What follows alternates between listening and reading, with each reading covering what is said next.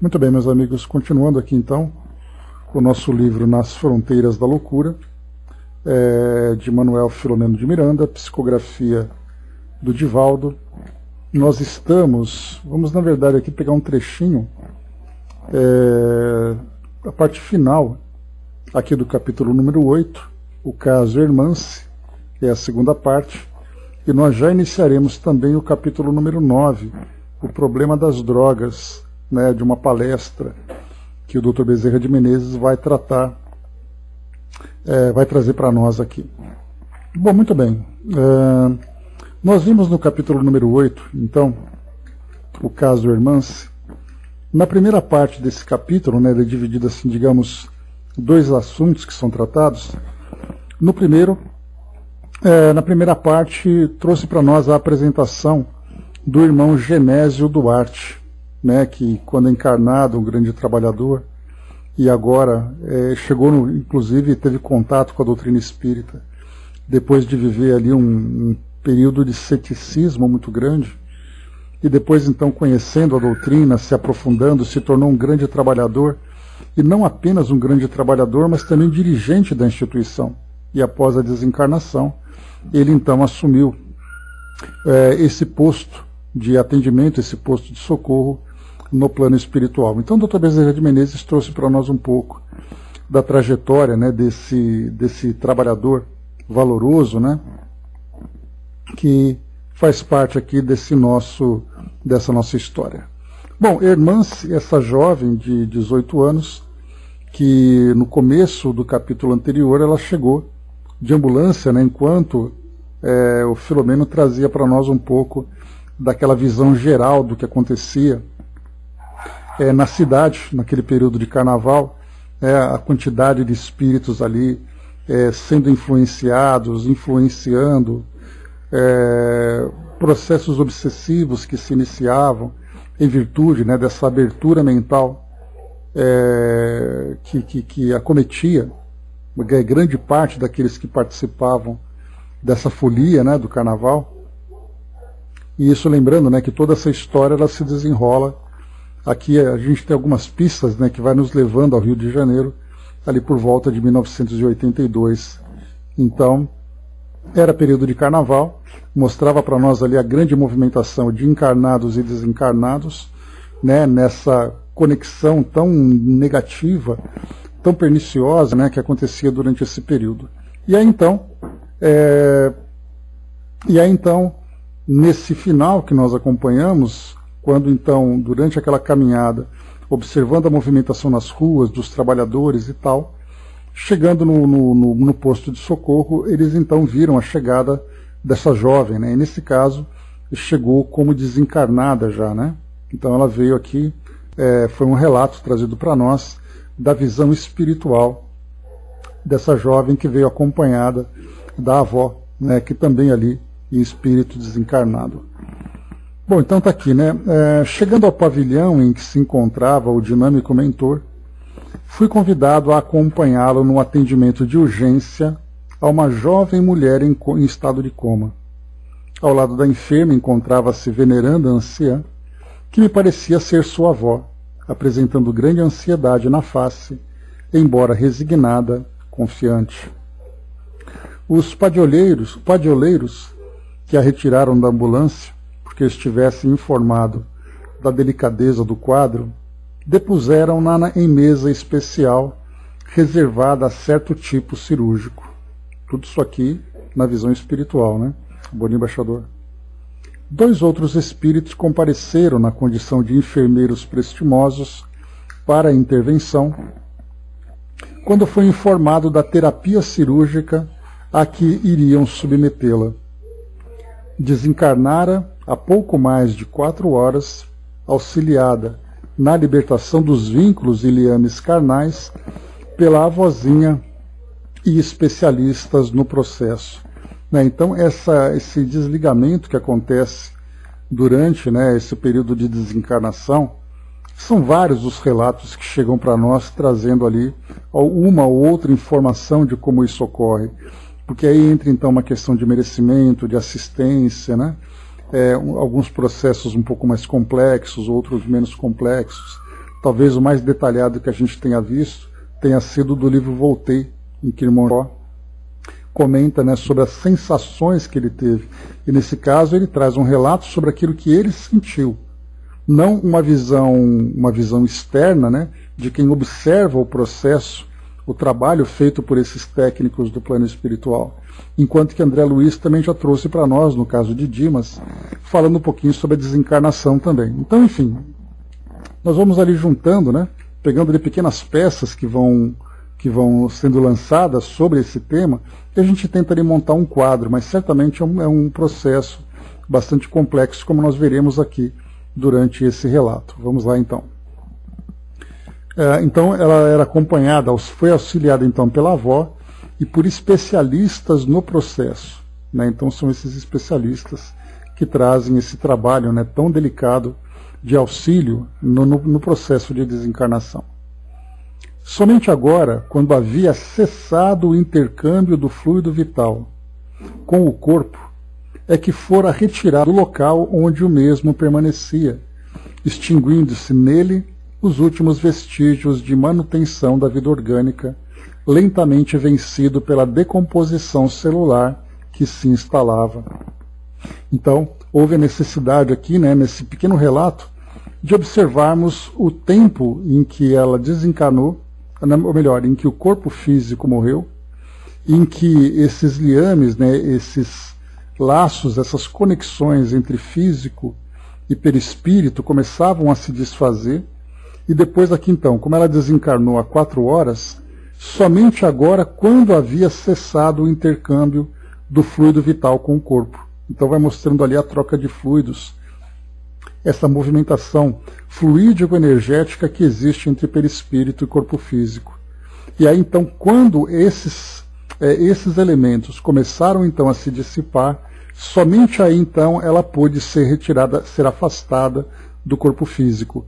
E nesse caso então, naturalmente aqui então ela foi desligada do corpo físico, já não mais sentindo as impressões que o corpo poderia provocar no seu psiquismo, né? como acontece, por exemplo, quando a gente já viu no caso de desencarnação violenta, em que o espírito continua ainda ligado ao corpo físico, no caso de suicidas, pessoas que vão desencarnando né, de doenças crônicas, mas tem grande resistência para poder desencarnar. Então, enfim, vemos ali várias e várias situações que Kardec, inclusive, mencionou no primeiro capítulo, o passamento da segunda parte do livro Céu e Inferno em que ele vai trazendo para nós ali um pequeno resumo das diversas situações em que a desencarnação acontece. Aqueles que, inclusive, durante um período, por exemplo, né, de uma doença crônica, é, o corpo vai naturalmente perdendo a sua vitalidade e o espírito, ao mesmo tempo, vai também lentamente se desconectando, quando o espírito apresenta né, esse equilíbrio para poder se desprender do corpo físico. E ele fala então sobre desencarnação violenta, sobre desencarnação pelo suicídio, né? todos esses, é, esses, é, esses, itens né, que eu acabei de mencionar para vocês. Mas aqui então, após então cessar esse intercâmbio do fluido vital com o corpo, é que ela foi retirada daquele local. E aí então, enquanto ela então é, era conduzida para essa instituição, no corpo físico extinguia-se os últimos vestígios da manutenção da vida orgânica. Então é como se nós pudéssemos aqui fazer uma ilustração. É como se dentro do corpo físico houvesse uma luz e essa luz ela não é simplesmente desligada como acontece com o interruptor. Essa luz vai gradualmente perdendo né, a sua força, perdendo a sua luminosidade até o momento em que o corpo físico fica completamente desenergizado.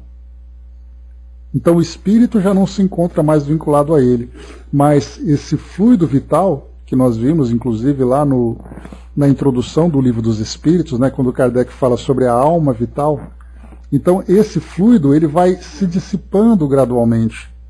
E aí então a gente vai encontrar situações variadas, né, como é o caso, por exemplo, do suicídio, quando o espírito é, opta pela autodestruição, mas ele continua intensamente vinculado com o corpo físico exatamente pela carga fluídica que o corpo mantém, já que não era previsto a sua desencarnação e, portanto, a carga fluídica para a manutenção do corpo estava todo presente. E aí então, quando ele destrói o corpo físico, ele vai perdendo a sua vitalidade, nós temos ali essa, esse choque entre a energia acumulada e o espírito vinculado ao corpo.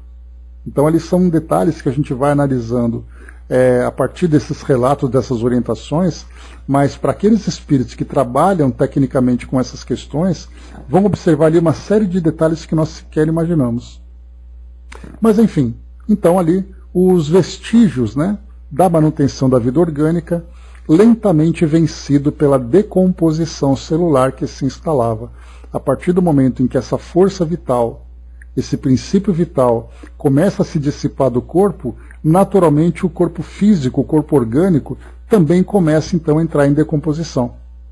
Porque embora hoje né, as nossas ciências, no caso, por exemplo, né, a medicina, a biologia, entende que a célula é um ser vivo simplesmente por si só, na visão espiritual, nós temos esse ser vivo sendo mantido por esse fluido que ainda é desconhecido pelas nossas ciências. No momento em que esse fluido deixa de existir, naturalmente esses organismos também começam a perder a sua vitalidade. Algo ainda que né, temos ali uma longa jornada de pesquisas e investigações e até mesmo né, essa quebra de preconceitos, né, de ver o mundo espiritual não como um elemento de fé, mas como uma realidade, então ainda existe uma longa jornada de compreensão, de vermos né, o que é exatamente a vida.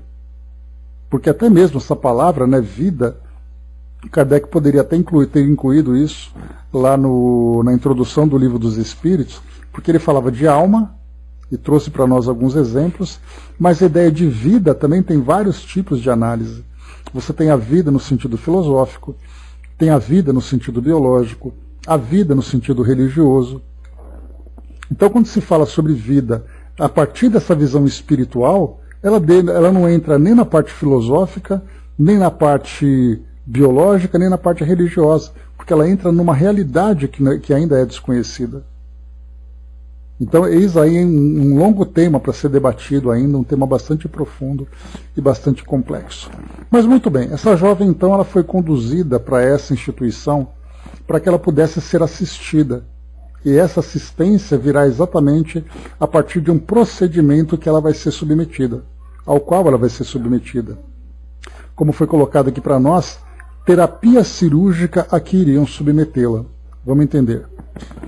A pequena cirurgia, esclareceu o Dr. Bezerra, objetiva drenar as cargas de energias venenosas, de energia venenosa geradas pelo medo e que poderiam trazer demorada perturbação ao espírito recém-liberto. Nós vimos esse trecho no nosso encontro passado. Então aqui a expectativa, o medo que esse espírito vivenciou no momento, né, que a gente vai aqui conhecer um pouco do contexto da desencarnação dela. Mas o medo que ela sentia, né, aquela a sensação da vida é, se perdendo, as angústias, isso faz com que o espírito entre naquele processo de perturbação que Kardec bem menciona no livro, no livro dos Espíritos, em que cada espírito cria para si mesmo uma determinada realidade. Então há aquele espírito que desencarna num estado de perturbação bastante sutil, apenas ali passando por aquele processo de orientação ou de reorientação sobre a sua nova realidade, o caso que nós vimos, por exemplo, do próprio irmão Jacó, lá no livro Voltei, novamente mencionando, em que ele foi naturalmente percebendo a desencarnação, foi assimilando essa realidade, já que ele tinha consciência do seu estado e do que o esperava no plano espiritual, então ele foi naturalmente assimilando aquilo tudo. Já André Luiz viveu um período muito longo e muito difícil, assim como o próprio espírito Camilo Cândido Botelho. Aqui no caso nós temos então essa jovem Hermance, também tendo essa percepção sobre essa realidade espiritual, mas ao mesmo tempo vivendo toda essa angústia. E esse tipo de sentimento que é alimentado, esse tipo de ideia que é alimentado, uh, é, eles acabam interferindo na forma como o espírito passa por essa fase de perturbação.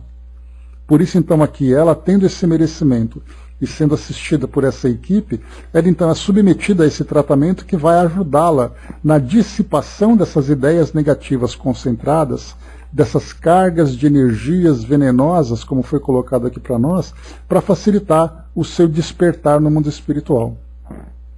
Vamos então acompanhando.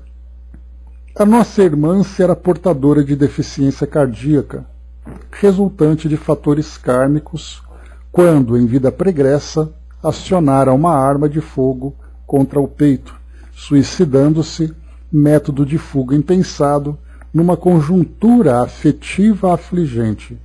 Então, na verdade, ela cometeu suicídio numa existência anterior, motivada por uma questão afetiva, por uma relação problemática, por uma angústia, por um medo qualquer, ela acabou então optando pela, pela fuga da existência física.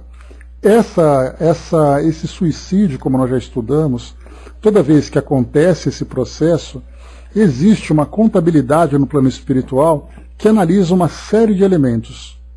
A consciência que o espírito tem, qual exatamente a previsão da sua existência física que ele acabou interrompendo, de que forma que ele vai quitar esse saldo devedor, entre aspas, numa nova existência. Então aqui o que foi colocado para nós? Que ela então cometeu suicídio, interrompendo uma trajetória que havia sido programada. Foi colocado para nós assim então. Os tecidos sutis do perispírito, lesados pela violência, impuseram ao corpo, nessa última romagem da qual se libertava, a modelagem de uma bomba cardíaca deficiente do coração. Então, ou seja, o fato dela ter destruído o corpo físico, dando um tiro no coração, fez com que nessa outra existência ela trouxesse então resquícios da lesão que ela provocou. De organização física frágil, aos 18 anos, era portadora de uma beleza lirial e enternecedora. Educada em rígidos princípios religiosos, soubera manter-se com dignidade, residindo em zona suburbana próxima da cidade. Aquecendo aos incidentes, insistentes convites de amigos, veio observar o carnaval e passear, sem dar-se conta dos perigos a que se expunha. O seu grupo jovial e comunicativo, não passou despercebido de rapazes de conduta viciosa que lograram imiscuir-se e participar do programa inocente que movimentava. Então ela, com um grupo de amigos, foram brincar no carnaval e nessa brincadeira acabaram então sendo ali envolvidas por um grupo de pessoas que traziam essa conduta viciosa. O médico fez uma pausa, fitando a desencarnada de semblante, semblante marmóreo, ou seja, aquele rosto pálido que o espírito mesmo mostrava, imóvel e prosseguiu. Em razão do débito para com a vida, quando subtraiu vários anos, graças à fuga espetacular pelo autocídio, não seria longa a sua atual reencarnação. Então aqui essa primeira parte que a gente vê. Então é um, um espírito, né? Bom dia, Fabi. Era um espírito que trazia na sua programação reencarnatória o compromisso de cumprir aquilo que ficou faltando numa existência anterior. Então, inclusive, isso acaba sendo um tema de debate um tanto quanto delicado quando se fala sobre desencarnação de jovens. Por que, que um jovem desencarna em tenra idade, né, um adolescente, um jovem e tudo mais? Muitas vezes nós temos essa ideia, que é o espírito que veio cumprir uma pequena etapa que acabou não cumprindo numa existência anterior. Só que isso acaba sendo um rótulo bastante perigoso, porque cada espírito tem o seu motivo. Sim, acrescentamos nesse caso aqueles espíritos que, tendo vivenciado né, a escolha do suicídio numa existência anterior, precisa agora né, é, recuperar aquele tempo que acabou não cumprindo e, portanto, uma reencarnação breve. Mas vários outros motivos também vão entrando para que espíritos acabem tendo uma vivência curta, uma vivência mais breve, que nós desconhecemos, porque cada espírito tem a sua própria história. Então é bastante perigoso fazer uma generalização dessa ideia, né? mas cada espírito então tem ali a sua etapa. No caso dela foi assim. Algo, algo interessante também que é acrescentado pelo Dr. Bezerra. Ao mesmo tempo que se sabia que ela não teria uma existência longa, já que ela desencarnou aqui aos 18 anos, dentro daquela previsão que ela precisava cumprir pelo fato de ter ali interrompido uma existência anterior, ela poderia receber uma moratória. A moratória é um prolongamento de uma existência que para o espírito é bastante positivo, bastante favorável, desde que ela tivesse merecimento para isso, que ela estivesse engajada numa atividade que para ela fosse benéfica. Do contrário, seria apenas o prolongamento e o agravamento daquilo que ela estava vivendo. Então, nessa segunda parte, é dito o seguinte para nós: poderia lograr alguma moratória, caso estivesse engajada em qualquer atividade de elevado teor que a necessitasse por mais tempo. Então, essa questão da moratória também é algo bastante interessante da gente perceber. Né? Bom dia, Sandra. Algo bastante interessante, que é o prolongamento da vida de um espírito. Então, nós trazemos aqui na nossa programação um determinado período de existência, mas para alguns espíritos há a solicitação dessa moratória. Nós chegamos até a ver um dos casos, num dos livros de André Luiz, em que nós acompanhamos ali, se não me engano, seis casos de espíritos que estavam desencarnando. Mas num desses casos era uma senhora que ela pediu um prolongamento da sua existência e foi concedido a ela pelo merecimento, porque a filha dela tinha acabado de ter um bebê e precisaria de assistência. Então ela foi, foi feita a ela solicitação para dela solicitação para continuar ainda encarnada durante mais um tempo, para dar esse suporte, ela recebeu essa moratória. Aqui nesse caso nós temos aqui a opção de uma moratória caso esse período extra que ela vivenciaria fosse proveitoso. Mas aqui nesse caso, infelizmente, ela acabou não aproveitando da melhor forma. Então ele vai relatar o seguinte para nós. Né? Aliás, lembrando que essa questão de moratória, de antecipação de uma desencarnação, são situações que são possíveis, desde que é, essas situações se encaixem em determinados critérios que nós desconhecemos. Então, os espíritos sábios, né, que estão ali sempre presentes, acompanhando a vida dessas pessoas, estão ali, observando as necessidades de cada um. Então, são situações que são possíveis.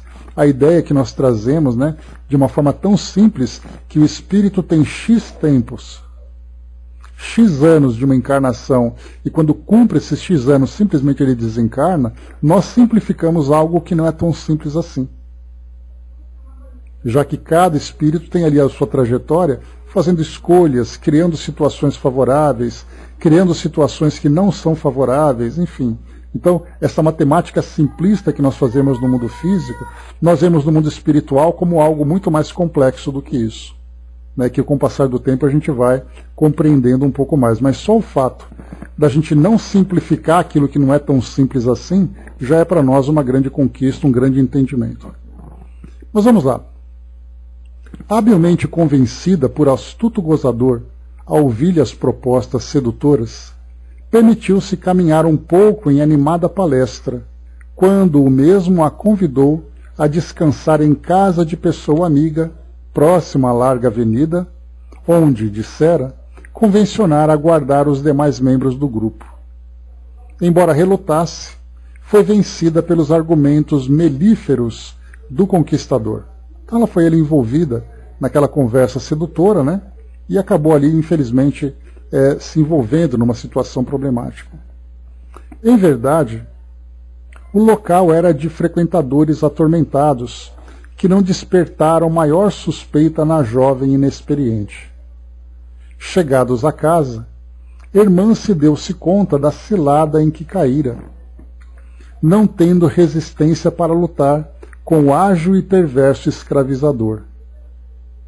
Aqui nós vamos falar de um aliciador de jovens, né? Então, essa história que a gente vai acompanhar. O medo aterrou-a, a respiração fez-se-lhe difícil e a alta carga de tensão produziu-lhe um choque fatal. Então, como ela já tinha essa deficiência cardíaca, aquela situação de tensão, de medo, acabou fazendo com que ela então tivesse esse colapso cardíaco. Na leviandade costumeira, o criminoso, que outra coisa não era senão aliciador de jovens para o comércio carnal, de trato com a encarregada do bordel, aplicou-lhe um lenço umedecido de clorofórmio cuja dose forte produziu-lhe uma parada cardíaca. Então aqui foi né, o efeito químico que acabou gerando tudo isso. No desespero em que antes se debatia, recordou dos pais e da afetuosa avó que dela cuidara na primeira infância e da mãe de Jesus, a quem muito amava. O seu apelo de imediato encontrou ressonância estando a avózinha ao lado, dando-lhe a assistência. Né? Então, esse aqui foi o quadro que nós acompanhamos, vendo aqui, infelizmente, a desencarnação dela. Né? O braço colocou em cima, né? eu tive um aviso da emancipação da minha vida para o bem. Né? Falei, seja feita à vontade. Né? É, emancipação ou prolongamento, Braço, você quis dizer? Né? Que é expansão, você fala, né? Então, quer dizer, cada espírito ali tem a sua história, né? Muitas vezes ali há aqueles que já cumpriram male male, né, aquilo que foi programado, há aqueles que fizeram bom proveito daquela existência, tendo por a abreviação você fala, né? Ah, tá certo, então. Então ali a gente tem, né, nessa nesse caso, né, cada espírito ali tendo a, as suas necessidades. E continua. A irmã Melide, que já a acompanhava, que é o caso da, da avó, prevendo o desenlace em razão das intenções que detectara no jovem de conduta perniciosa, conhecendo também o breve trâmite da netinha, né, dentro da programação dela, é, no mundo manteve-se em vigilância. Aqui é algo interessante da gente acompanhar. Dá um ok no texto, pessoal, por gentileza. Só para orientar a Angelina. Obrigado. Então, algo interessante da gente observar aqui. É, irmã Melide, que era avó, acompanhava essa situação da neta. Primeiro, sabendo que ela teria uma desencarnação breve. Segundo, vendo-a é, sendo envolvida por essa teia né, de, né, de, de, de, de malfeitores, vamos dizer assim, que acabou, que acabou envolvendo-a. Dá para a gente ter uma ideia da angústia que essa avó sentia. Porque, embora ela tivesse consciência de que as coisas poderiam se encaminhar nesse sentido, ela não ficaria impassível diante daquilo que estava acontecendo. Né? Não daria para ficar simplesmente ali naquela condição neutra. Não, eu vou vendo a minha netinha sofrer, eu vou ver minha netinha desencarnar, ela sendo ali né, atacada por essas pessoas. Dá para a gente imaginar a angústia que ela sentia, mas ao mesmo tempo, junto dessa angústia, vem exatamente ali a fé que esse espírito mantinha, sabendo que as coisas seguiriam por esse caminho, mas que no final ela estaria ali não apenas dando o amparo, mas também sendo amparada. Então, se a gente se coloca né, na, na, na, na posição desse espírito familiar que acompanha tão de perto alguém que é especial ao seu coração, vendo esse sofrimento, dá para a gente olhar para o mundo afora e ver tantas situações acontecendo, desses espíritos amigos, espíritos familiares, nos acompanhando, nos vendo entrando nessas situações. Então, primeiro não é para qualquer um, né, Fabi? Porque muitas vezes o espírito, inclusive nós já vimos André Luiz, quando ele então se encontrava ali com, com mentores, com, com, com esses orientadores de trabalhos, teve até um livro, não me recordo qual deles, que nós estudamos, mas ele se encontrava com esse espírito que era esse orientador, e vieram duas senhoras, uma desencarnada e uma em emancipação, por causa da neta que estava ali às vésperas do suicídio. Essa senhora que estava ali em emancipação veio tomada de um desespero, implorando pela ajuda a essa netinha. Quer dizer, estar no mundo espiritual não é simplesmente você perder toda a sua emotividade, toda a sua expectativa, até porque nós tivemos até o nosso querido amigo Reinaldo na sexta-feira trazendo para nós ali aquele recadinho, quando ele falava: o fato de você desencarnar não quer dizer que você já conquista a felicidade. Você continua vivendo ainda todas as suas tendências, as suas emoções, emoções muito fortes, inclusive, que nós já vivíamos aqui no mundo físico, e no mundo espiritual continua. Então, mudar de dimensão não significa que o espírito muda de personalidade. Essa mudança vem exatamente com o amadurecimento que ele vai desenvolvendo enquanto ele está no plano espiritual. Mas a grande maioria continua vivendo exatamente como antes. E diante dessas situações, vem ali todas as angústias, vem ali todas as aflições. Nós tivemos, inclusive, também no livro, num dos livros da Dona Ivone, quando falava sobre espíritos, né? Porque ela viveu naquela época pós é, abolição da escravatura. Então, muitos espíritos ainda ligados àquela experiência da escravidão. Então, aqueles espíritos desencarnados, que estavam na condição de escravos, vendo entes queridos sofrendo aqui no mundo físico, eles então tomavam partido e iam para cima na condição de obsessores para defender aqueles entes queridos, quer dizer, estavam tomados ali de um sentimento absolutamente passional. Então aquela ideia, não, você está no mundo espiritual e agora você se desvincula de tudo que acontece no mundo físico, não é assim não. A gente vê as emoções afloradas naqueles que estão acompanhando os seus entes amados aqui, próximos, vendo, passando por essas situações difíceis. Inclusive, muitos espíritos desejam se vingar daqueles que foram né, os algozes dos seus entes queridos, se tornando ali obsessores sem que tivesse qualquer disso ou qualquer tendência para isso mas o coração falava mais forte naquele momento. Né? Fabi colocou, né? Sim, não é para qualquer um não, né? Daí a gente vê que existem familiares e o anjo, né? No livro da Dona Ivone, esqueci o nome agora, tem isso, né? O pai da personagem e o anjo da guarda do grupo, né? Pois é. Esse, no caso, eu estava contando outra história dela e você trouxe essa, né? Mas existe essa diferença, né? Daquele espírito mentor e daquele espírito familiar. Então Kardec, inclusive, fala sobre isso no livro dos Espíritos, que os espíritos, os espíritos familiares nos acompanham pelo amor que sentem por todos nós, mas isso não garante para eles uma sabedoria, um equilíbrio, uma elevação suficiente para lidar com essas questões tão difíceis. No caso daqueles espíritos que são os nossos protetores, embora eles também se sensibilizem com as questões que nós vivemos, eles trazem uma sabedoria, uma maturidade para lidar com aquelas situações. Então, estarmos no mundo espiritual, vendo um ente querido, caso, por exemplo, de uma mãe, de um pai, de familiares diversos, né, amigos diversos, acompanhando ali os seus tutelados, aqui enquanto encarnados, vivendo situações dolorosas, para eles é tão doloroso quanto estar aqui encarnados também. Né? No caso do livro, me parece que a desencarnação da Irmãce não estava prevista para ser dessa forma. Estou certo nessa percepção? Aqui no caso, né, a circunstância a que ela foi levada para desencarnar, o livro não trata dessa questão. Mas ela estava prevista uma desencarnação, é, uma desencarnação breve. Agora, de que forma que ela ia desencarnar? Até porque é importante lembrar que não é apenas o suicídio que ela vivenciou mas a causa do suicídio. No caso dela, por exemplo, foi uma questão afetiva não resolvida do passado.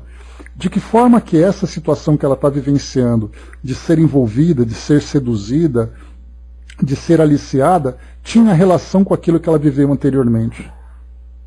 Então, lembrando sempre né, que o espírito, é, quando ele é, é, passa por uma situação dessa, uma provação tão difícil que o leva ao suicídio, que ele acaba sucumbindo a essa aprovação, é, essa mesma experiência se repete no futuro para mostrar a ele a maturidade, para ver se ele conseguiu conquistar a maturidade.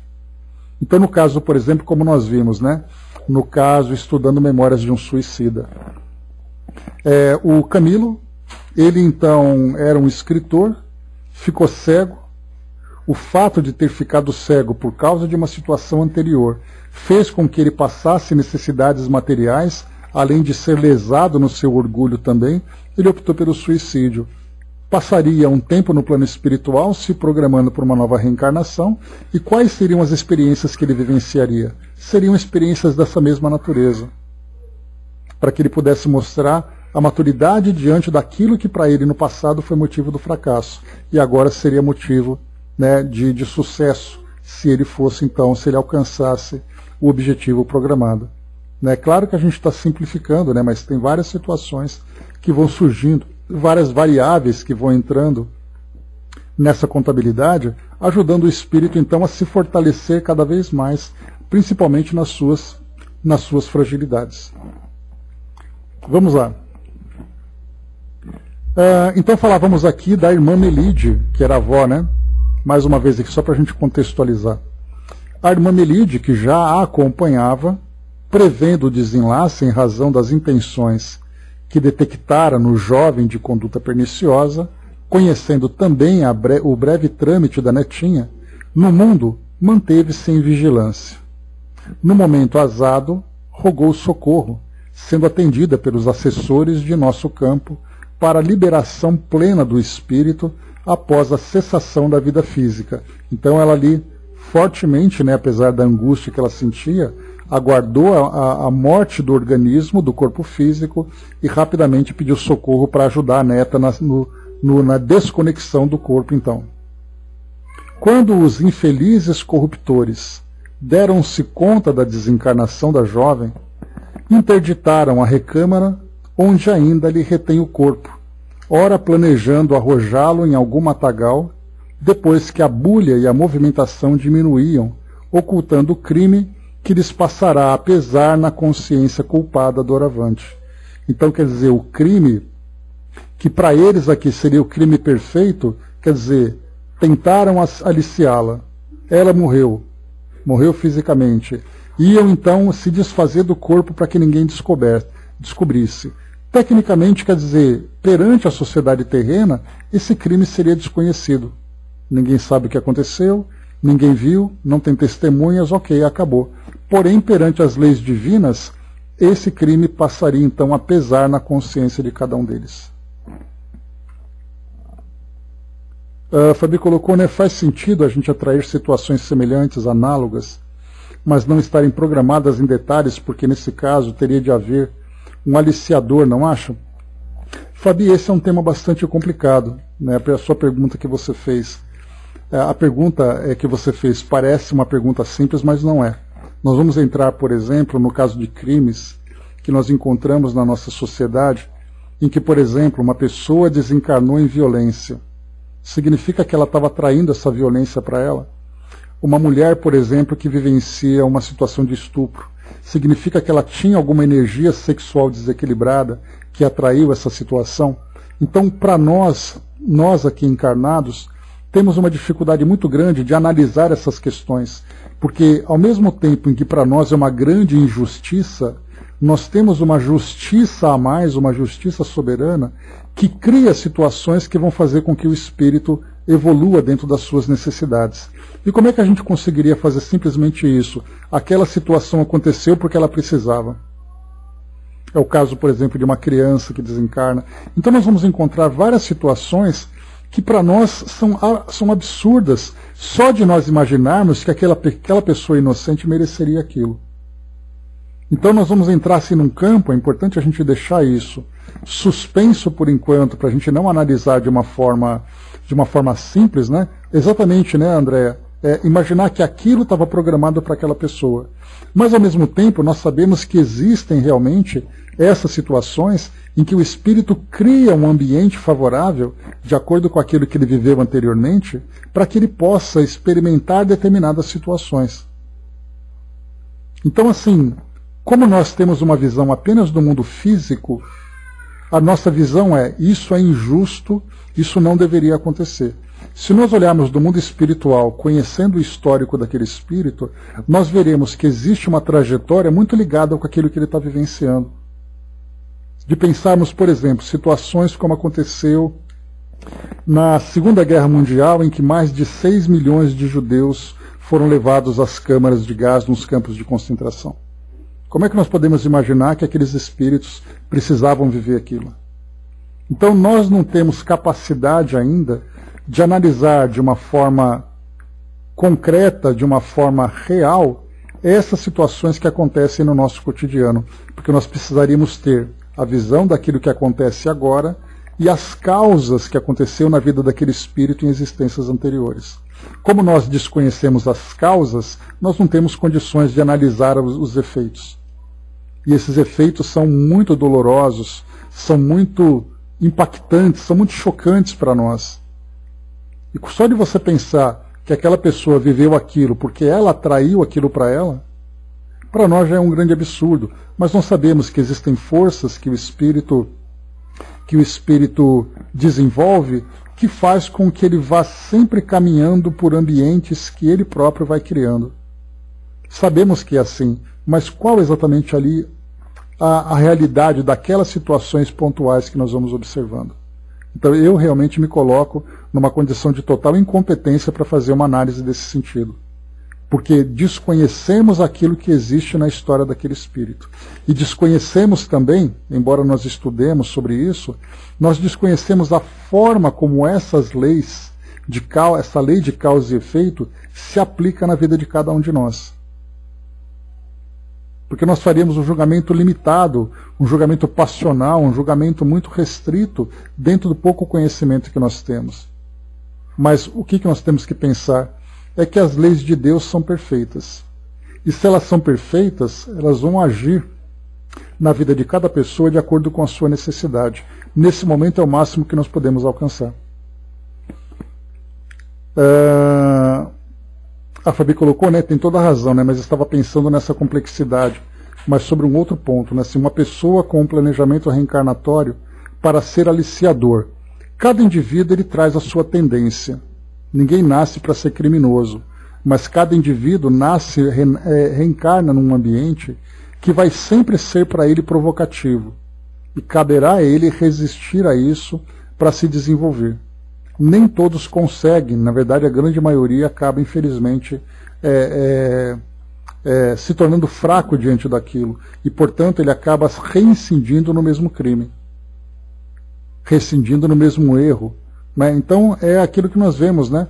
para o espírito passar por uma determinada prova, essa prova tem que, tá, tem que estar relacionada com as suas tendências. Não adianta você me passar uma prova de coisas que para mim não faz nenhum efeito. Eu tenho que passar por provas para fortalecer o meu caráter, para fortalecer os meus valores, dentro daquilo que eu tenho como tendências negativas. Nesse caso, por exemplo, de um aliciador, nós temos ali homens que tem, trazem essa tendência né, a subjugar pessoas, estão vinculados a essa energia sexual doentia, desequilibrada. Então, na verdade, quando ele vivencia essas experiências, mesmo que ele não reencarne num ambiente como aquele, ele naturalmente vai buscar isso, porque é algo que ele precisa viver em termos de sensação. Às vezes nós temos, por exemplo, um jovem que reencarna numa família bem estruturada, numa família financeiramente bem ali, é, bem aparelhada, e dentro dessa estrutura ele acaba descambando né, para a delinquência, por exemplo. Os pais ali se esforçando para orientá-lo, mas o espírito traz as suas próprias tendências. Então, naturalmente, ele próprio cria essas situações que para ele são situações dolorosas. É algo bastante complexo da gente analisar. Tentar entender do porquê das coisas serem como são, por que, que um indivíduo faz o que ele fez. Né? André colocou, né? É é, creio que nem quando estivermos no plano espiritual, é muito complexo, os espíritos que tratam disso são muito elevados. Né? Pois é, eventualmente, André, a gente pode até buscar o estudo, né? porque nós somos estudantes e somos curiosos nesse sentido, nós vamos querer conhecer um pouco mais sobre tudo isso. Bom, então, então por isso é muito difícil nós fazermos essa análise baseada apenas nesse pequeno conhecimento. Bom dia, dona Miranda. Bom, vamos lá, pessoal. Só para a gente poder finalizar esse trechinho, então. Eu confesso para vocês que eu não teria, eu não tinha muita, muita ambição de ficar preso nesse, nesse, nessa parte final desse, desse capítulo, né? Porque era apenas um relato sobre a vida dela. Mas olha quanta coisa interessante a gente traz, né? Como reflexão. Mas muito bem, vamos lá. É... Deixa eu ver aqui, só voltando um pouquinho.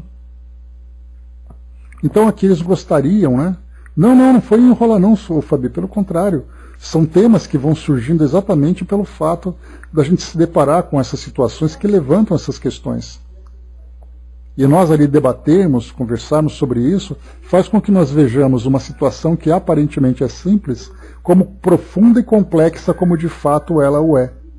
Então essas matemáticas que nós fazemos aqui da nossa né, do, do, do, nosso dia a dia, vendo o mundo espiritual com toda essa simplicidade, a gente percebe que não é bem assim. Pelo contrário, são situações bastante complicadas. Vamos lá. Então aqui eles então se, iam se desfazer do corpo, né?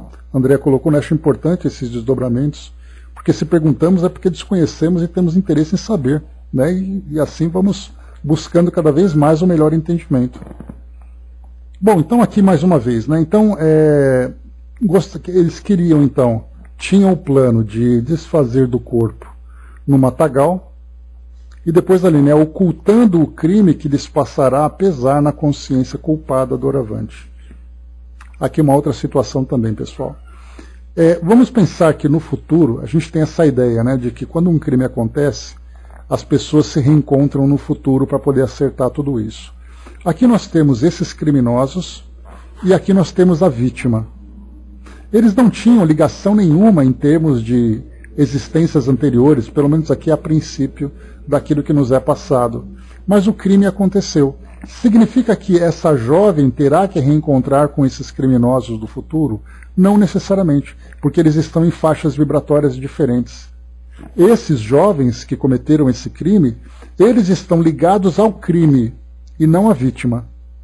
E, portanto, no futuro, viverão experiências relativas ao crime, à violência que eles praticaram.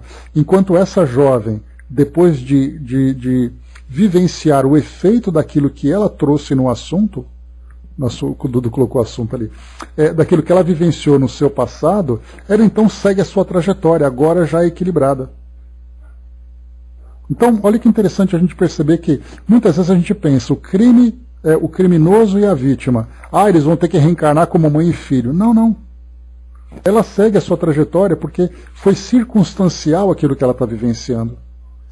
Enquanto que o criminoso, esse sim fica como marca na sua consciência do crime praticado, de que forma que ele vai é, que ele vai resgatar esse crime praticado, nós desconhecemos. Muitas vezes eles podem estar envolvidos com outros grupos, com outras pessoas, em outras circunstâncias, ou melhor, em circunstâncias semelhantes, mas a jovem não tem nada a ver com eles. Então, por isso que essa matemática simplista modifica-se completamente quando a gente começa a analisar com mais profundidade. Dudu trouxe para nós aqui, né? Esse assunto não tem pressa. Precisamos mastigar todo o conteúdo que está sendo colocado a cada e cada intervenção é lucro para vocês e para nós, né? Obrigado, obrigado pelo incentivo. E é isso mesmo que a gente vê. Então são debates, né? A pressa só nos faz perder conteúdos primordiais ao que queremos saber, né? E é verdade, né? Porque a gente vai acompanhando essas histórias e, na verdade, como uma boa história, a gente quer simplesmente chegar no final. Mas ao nos dedicarmos ao estudo, cada palavra, cada termo, cada passagem é para nós um motivo de reflexão. E a gente fica feliz também que vocês vejam dessa forma. Muito bem. Prosseguimos aqui então. Então aqui mais uma vez essa questão da, da lei de causa e efeito dos crimes que são que acontecem. Muitos vítimas e algozes se reencontram devido a um histórico que eles já trazem. Outros, vítimas e algozes, são completamente diferentes uns dos outros. E aí são muito mais as circunstâncias, né? Nesse caso, ela resgata e eles praticam o crime. O escândalo é necessário, mas aí daquele por quem vem o escândalo. Ela resgatou. Esses jovens acabam de criar uma situação em que eles terão que responder no futuro não necessariamente ligados a ela, mas ligados ao ato que eles praticaram. Interessante pensarmos assim, né? O narrador silenciou novamente, concatenando raciocínios e premonições. Pode-se imaginar, prosseguiu, sinceramente compungido, a angústia dos amigos que não a levarão de volta ao lar, dos pais e irmãos, a essa altura e no dia seguinte, até que a polícia localize o corpo, prosseguindo o desespero dia após dia. Aqui também é algo muito, muito, muito frequente que nós vemos no nosso mundo, né? Crimes que acontecem, a pessoa fica desaparecida, a família, os amigos, todo mundo vivendo aquela angústia toda. Como lidar com tudo isso? Diz aqui para nós o Dr. Bezerra. O insucesso amargo, porém, sendo bem suportado, será convertido pelas leis divinas em futura paz e renovação da família, que reencontrará nossa irmã-se mais tarde em situação feliz. O grande choque, fator da desencarnação, num atentado ao seu pudor de moça, é o capítulo final da tragédia afetiva culminada antes no suicídio. Olha aqui, Fabi, que a gente colocou. No caso dela, foi dito que essa situação que ela vivenciou seria o capítulo final de uma tragédia afetiva. Mas como nós encarnados, e até mesmo nossos irmãos desencarnados, que não têm acesso a esse entendimento sobre a história desse espírito, pode simplesmente dizer, entre aspas, com muito cuidado, pessoal, que ela merecia viver isso. Que era uma necessidade do espírito. a gente vai dizer, então as leis de Deus são absurdas. São absurdas até que a gente conheça toda a sua profundidade. Então, aqui no caso dela, ela estava ligada a essa situação de violência, vinculada a essa questão da sexualidade, nesse caso, né, tão desequilibrada, tão distorcida. Mais uma vez, o grande choque, fator da desencarnação, num atentado ao seu pudor de moça, é o capítulo final da tragédia afetiva, culminada antes no suicídio. Qual a história que ela viveu no passado? Exatamente, André. A gente quer ter ali o conhecimento absoluto para fazer todo o julgamento, para fazer toda, todo o apontamento, sendo que a gente não conhece absolutamente nada. Pena a ingerência indébita de criminosos, de que a vida não necessitava. Então, aqui nesse caso, né, esses criminosos criaram essa situação. Tudo, porém, só voltar um pouquinho, pessoal. Pena a ingerência indébita dos criminosos de que a vida não necessitava, quer dizer, não precisava ser dessa forma. Mas as circunstâncias levaram todos a esse caminho. Tudo, porém, transcorre sob controle superior, obedecendo ao equilíbrio universal de que somente se tem uma visão mais clara e mais completa deste para o plano terreno. Então, olha só aqui, hein? quando fala sobre equilíbrio universal, o que sabemos sobre esse equilíbrio universal? De que forma que essas energias vão se estabilizando no mundo espiritual, envolvendo as pessoas, envolvendo a cada um de nós? No momento em que nós criamos, eu já cheguei até a trazer para vocês essa visão, no momento em que nós criamos uma desarmonia por uma, por uma escolha equivocada, o mau uso do nosso livre-arbítrio, essa desarmonia terá que ser restabelecida. E nós criaremos situações, ainda que inconscientemente, que nos levarão a esse restabelecimento. Portanto, existe um mecanismo que dá a impressão de que nós temos carrascos determinados que vão nos punir por determinados equívocos praticados. E, na verdade, é uma própria harmonia universal que nos coloca nessas situações. Você criou o desequilíbrio, você tem que trabalhar pelo reequilíbrio. Portanto, essa lei de causa e efeito funciona por mecanismo que nós ainda desconhecemos completamente. André colocou: Estou num alto trabalho constante de prestar atenção nos julgamentos. Depois que passei a notar isso, em mim fiquei assustada, né? É natural que todos nós temos essa tendência, né? Faz parte da nossa personalidade, nesse estágio em que nós estamos aqui ainda. Vamos lá. Uh, a Fabi colocou também aqui, né? Uh, Jesus disse, né, do amor que cobre a multidão de pecados, né? Então, uh, esse amor ele age de formas que nós também desconhecemos. A Angelina colocou, a justiça divina é maravilhosa nos dá sempre oportunidades de fazermos o bem, mas o mal que fizermos temos que corrigir. É inevitável. As próprias circunstâncias nos levam a esse reencontro com a nossa própria história. Muito bem.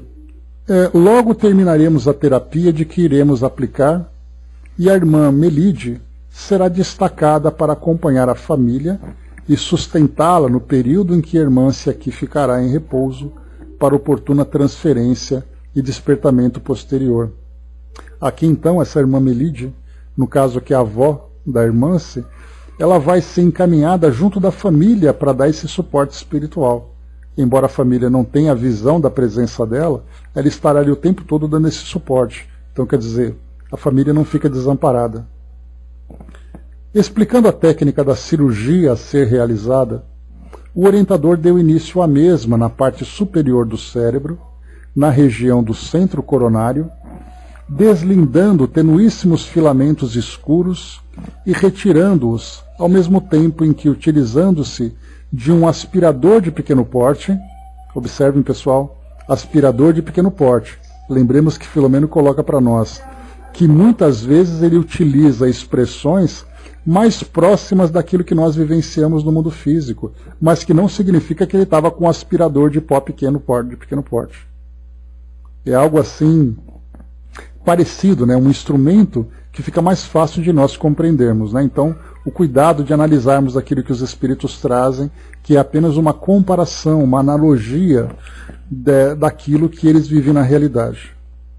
Então, ao mesmo tempo que, utilizando-se de um aspirador de pequeno porte, fazia sugar resíduos do centro cerebral que haviam bloqueado a área da consciência. Olha só aqui, é, ela perdeu a consciência por causa daquele ato de violência, fazendo com que aquele período de perturbação que ela estava vivenciando fosse muito mais intenso. Então é como se ela tivesse com a consciência fechada dentro daquele mundo que ela criou, aquele mundo de angústia, de medo, de aflição. O que, que eles estavam fazendo agora? Desbloqueando tudo isso para que ela recobrasse a consciência. Então nem sempre, ao desencarnarmos, nós temos essa facilidade de assumirmos essa consciência imediata. Há necessidade desse auxílio. E aqui nós estamos encontrando uma das formas de auxílio que são prestadas né, no mundo espiritual. À medida que a equipe recorria a instrumentos muito delicados para aquela microcirurgia diante dos meus olhos, a cor retornou à face da jovem e a respiração foi pouco a pouco sendo percebida em face dos estímulos aplicados na área cardíaca. Esses estímulos aqui nós vamos encontrar desde esses instrumentos até mesmo a fluidoterapia, a magnetoterapia, né, para ajudar o espírito então a reequilibrar as suas forças e também ali reequilibrar os fluidos, né? Aproximadamente 20 minutos depois, a paciente em sono reparador foi removida para a enfermaria contígua sob cuidadosa assistência enquanto o delicado médico, o dedicado médico, pontificou: Morrer é fácil, libertar-se da morte após ela é que se faz difícil. Encerrando-se um capítulo da vida, outro se inicia em plenitude de forças. Acabar, jamais. E aqui nós concluímos né, esse capítulo com essa passagem bastante sábia né, que mostra para nós aqui então que morrer é fácil. O desprendimento do espírito naquele processo de desligamento, passando pela perturbação, recobrando a consciência, isso é uma outra história. E depois começa uma nova etapa da existência do espírito. Então aquela história, né, como aquela passagem né, que foi colocada lá no túmulo de Kardec, né, nascer, crescer, viver, morrer, renascer ainda, progredir sempre. Então, quer dizer, esse processo né, de, que parece simplificado, nós vamos então detalhando cada vez mais, entendendo né, todas as facetas das experiências que cada espírito individualmente vai vivenciar. Cada espírito vai experimentar de acordo com sua história, de acordo com seu grau evolutivo. Fabi colocou, né, acho que o mal acontece, isso é uma ideia que fico pensando, para que a gente consiga perceber melhor a extensão dos nossos erros para uma reeducação do nosso espírito. Compreendido isso, essa necessidade de educação. Acho que esse livro mesmo tem uma experiência parecida, que o Dr. Bezerra de Menezes socorre a mocinha. Né? De todo modo, é complexo sim, né? e acho que e acho muito instigante essa compreensão, mas aí a gente começa a rever o Servão do Monte com outro olhar, né? É, é aquela história, né? Você estar no mundo de provas e expiações você aprende com as suas próprias experiências e aprende também com as experiências dos outros. Mas para isso é muito importante termos sabedoria. Né? A sabedoria de você aprender com os erros dos outros, aprender com as dores dos outros. Que infelizmente para nós ainda se encontra muito distante. Porque por mais que o mundo se apresente para nós como essa escola com tantas dores e tantos sofrimentos, nós continuamos gerando situações problemáticas para nós mesmos. Quer dizer, por que, que eu vou tomar uma decisão equivocada que vai me gerar sofrimento se eu estou vendo as pessoas sofrendo por decisões equivocadas? Ou seja, nós vamos aprendendo, na verdade, uns com os outros.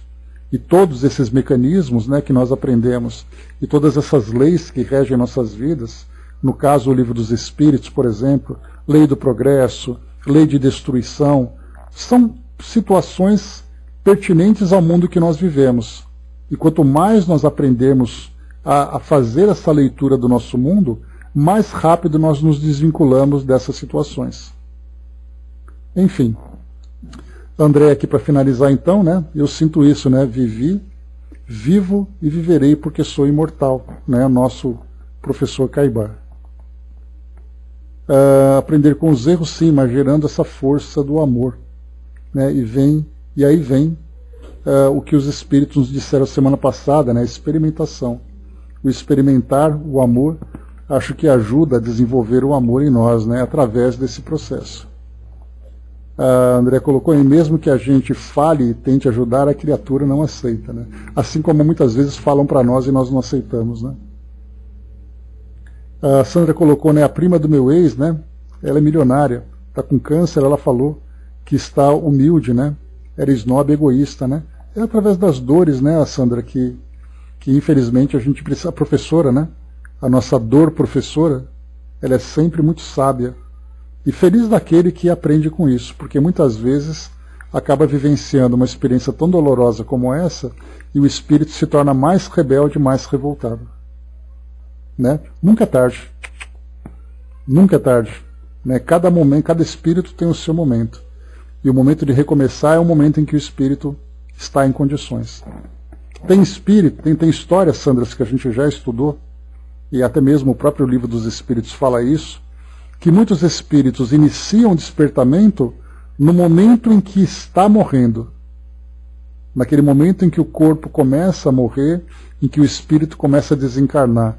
Naquele momento é o momento de revista em que o espírito faz uma, uma leitura da sua existência e começa a pensar de um modo diferente. Ou seja, ele conseguiu se transformar no último suspiro aqui no mundo físico.